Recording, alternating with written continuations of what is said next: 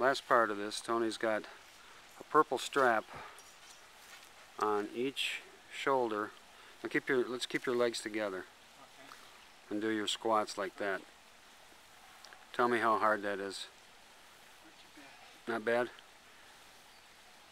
Let's try then, let's try doubling over one and doing that foot back like we did before.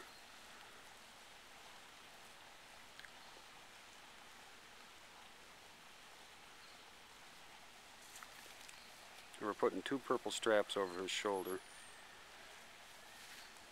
We'll isolate that front leg so he's stepping back with that back leg. Speed on the way down, up.